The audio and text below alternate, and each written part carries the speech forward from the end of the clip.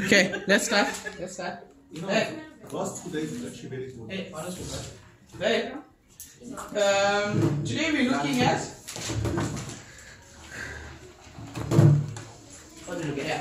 So today, um, okay. So yesterday, we we- no we're on uh, doing maths, now, right? So we the phone is um right graphs. We're on graphs, right? Module five graph. So yesterday we looked at what a coordinate is. We looked at we looked at quite a few things yesterday. We looked at coordinates. We looked at Domain, domain range. range. We uh, looked at independent, dependent variable, whether something is a function or relation. We looked at continuous, discontinuous. We looked at symmetry. Another thing we did for that one. Those are the subs, right? We looked at that. Then we started looking at graphs, sketching graphs. Okay. Sketching graphs, right? So, sketching graphs, we looked at, um, first graph was a straight line graph. Then we looked at an ellipse. Then we looked at a circle, rectangular, hyperbola, and an hyperbola, right? So today, we're looking at exponential or log- logarithmic graphs.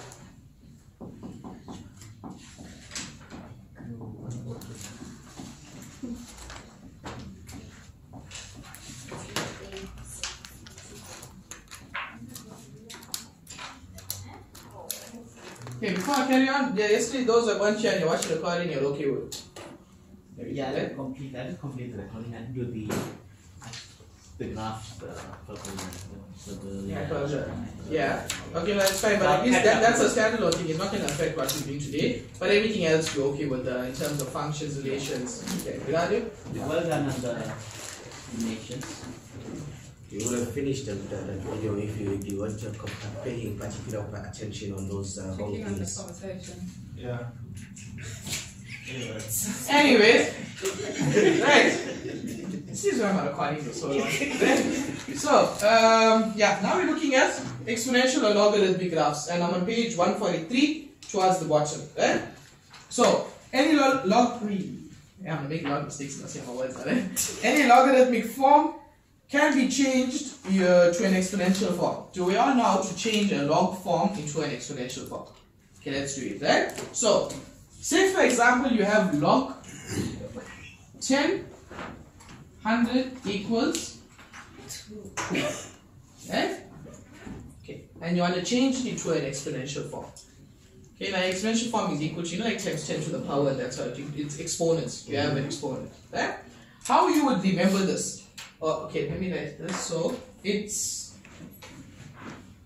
okay, so its exponential form is going to be a 100 is equal to 10 to the power 2, right? And how do they get this?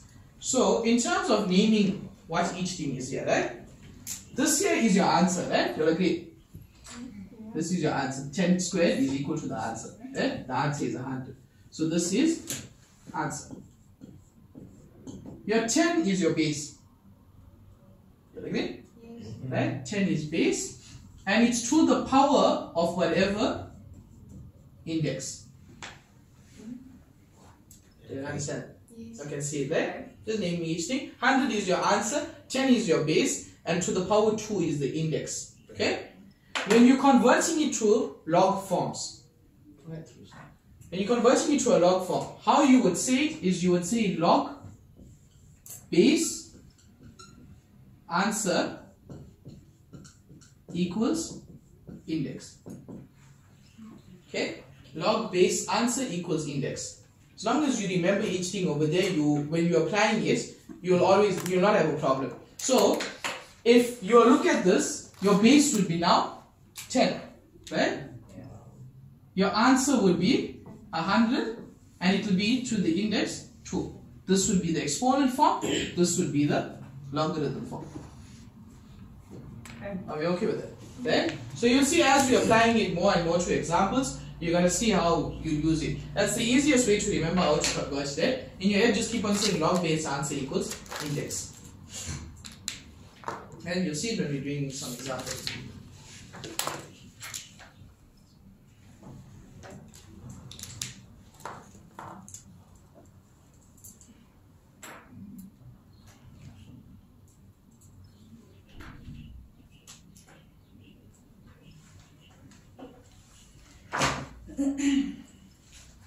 Okay, so remember like how yesterday we had the general formulas for straight lines, circles, that sort of thing. The general formulas here that you could see for a logarithm graph would be y is equal to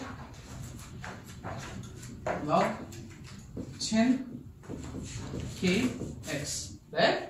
If you had to convert this into an exponential form, why, how, what would it be? Your base would be Your base would be 10, right? Your answer is Okay. and your index Uh, you blocking. Y. Y is one. okay that will be the exponential form of this look here okay. log base answer equals index base index answer you can see.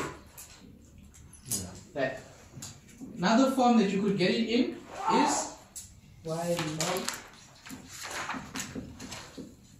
e n x. So this would be the logarithm form. What should be the exponential form?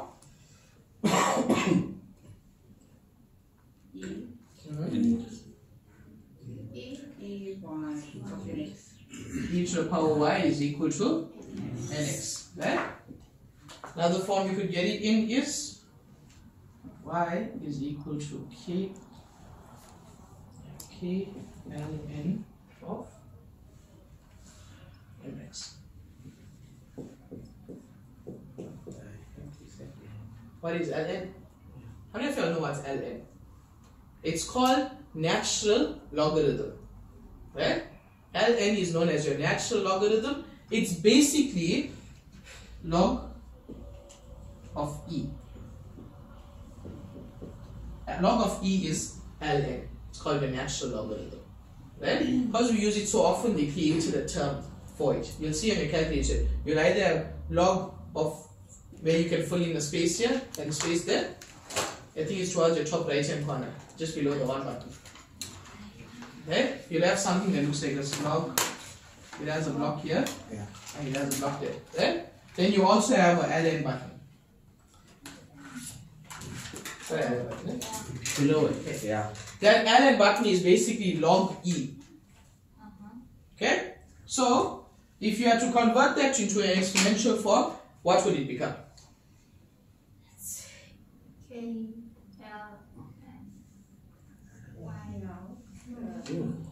This now, okay, it would be y over k is equal to L, okay, so it would be log e m x, right? I converted the L into log e, right? And I just divided by k. You understand that? Okay, so if you have to convert it now to exponential form, what would it be? e to the power y over k e to the power y over k is equal to mx. And if you make x the subject of the formula, it will be e to the power y over k all over m. So that will be the exponential form of that. Okay? And then one more you got is y. E. y is equal to k log a nx. Right? And if you convert this into an exponential form, what should it be? Okay, so this here would become y over k is equal to log a nx. Right? Log base answer equals index. Base would be a, your index would be y over k equal to nx. And if you make that the subject of the formula, it will be a y over k all over n is equal to x. So that's your log form, that's your exponential form. Okay?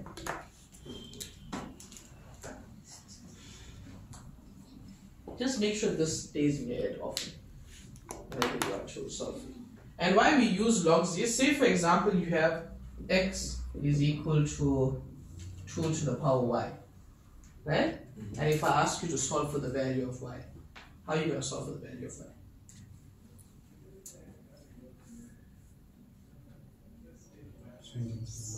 You're converting into log functions, eh? And if you convert it into a log, what do you do? y is equal to log the base x. So you can substitute any value of x and get an answer for y. Okay, here if you substitute the value for x, just say x was equal to 2. You're going to end up with 2x, okay, not 2, let's say 3 to power y. How you solve for y? You can't divide by 2, you can't square root it, you can't square it to something. You have to convert it into logs to make it in terms of y. That is why we use it. Okay?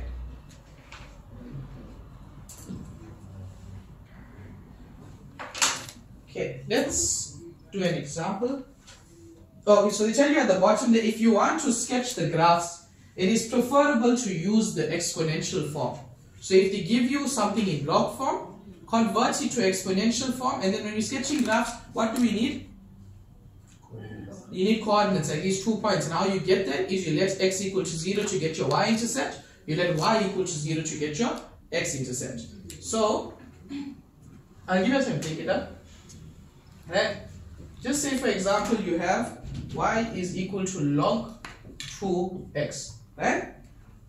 And if they ask you to sketch the graph, uh, before you can, can you turn to page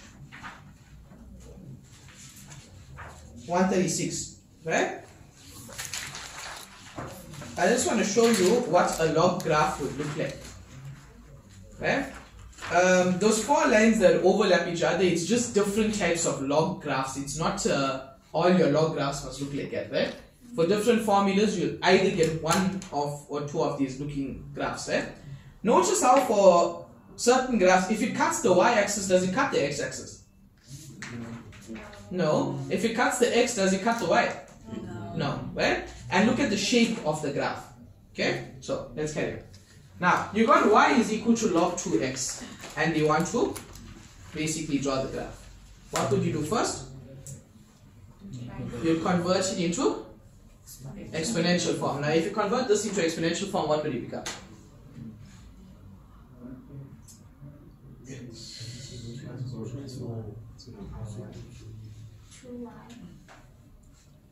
log base answer, right? So log base, your base is going to be 2. Your answer is going to be x. This is your index, so base to the power index, right? That is your exponential form. Okay. okay.